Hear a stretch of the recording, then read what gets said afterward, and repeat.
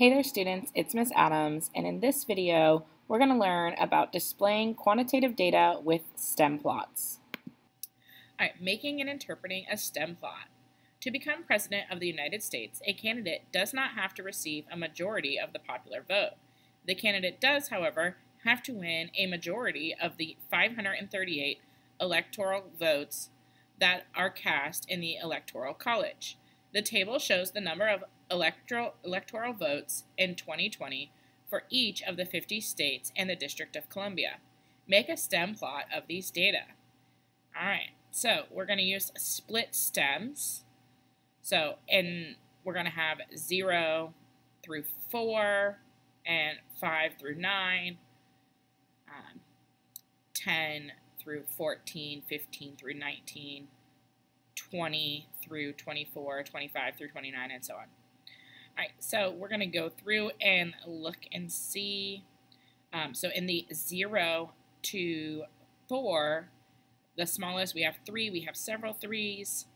We have quite a few 4s. And then we're moving into the 5s. So 5, we have 3 5s, um, 6 6s, 3 7s, 2 8s, and 3 9s. For the 10 to 14, all right, we're putting the 0 there to represent the 10. So it's the 1 and the 0 come together to make a 10. There was four 10s.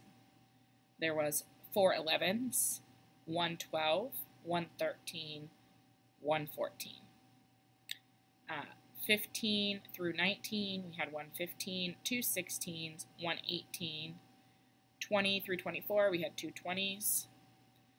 25 through 29, we had two 29s.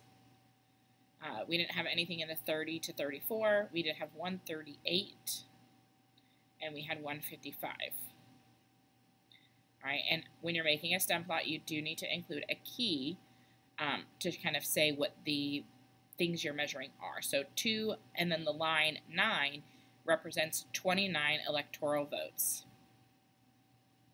All right, what percent of the states get 10 or more electoral votes?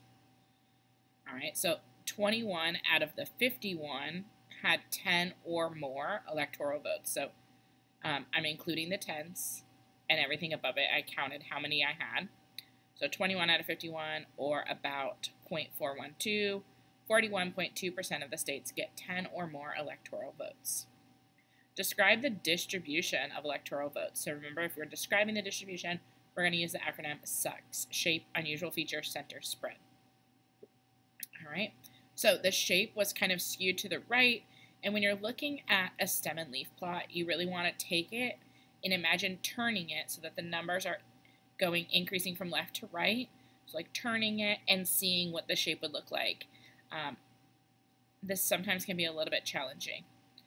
Um, so it's skewed right with a peak on the 0 or the 5 to 9 stem and gaps from 29 to 38 and then 38 to 55. Um, some unusual features would be the Texas with 38 and California with the 55. Those appear to maybe be outliers. Uh, the center, the median is 8 electoral votes. And the spread, the number of votes varies from 3 to 55. All right, a back-to-back -back stem plot. So this one, again, is a little bit more difficult when you're trying to talk about the shape because you have to kind of imagine uh, turning the one. The one on the right side is easier to envision because you can turn it. The other one, you kind of have to imagine flipping it across the number line and then turning it. Um, so in Major League Baseball, there are 30 teams with 15 in the American League and 15 in the National League. The stem plot shows the number of doubles for each team in a recent year organized by league. So we have American League and National League. And this is the number of doubles that they had. So which of the two leagues typically hits more doubles? All right, so the American League, um, American League median is 290 doubles, and the National League median is 280 doubles. So I just kind of counted from both sides um, to see which one fell in the middle. Right? You could list out all the numbers in order from smallest to largest to find that as well. Um, are the shape of the doubles distribution similar or different in the two leagues? Justify your answer. Okay, I'm going to say they're a little different. Uh, you can kind of, hopefully, maybe you can tell one skewed one way, one skewed the other. So, although both are roughly symmetric, um, the National League has a slight left skew, while the American League has a slight right skew, with a potential outlier at 345. All right, thanks for watching and see you next time.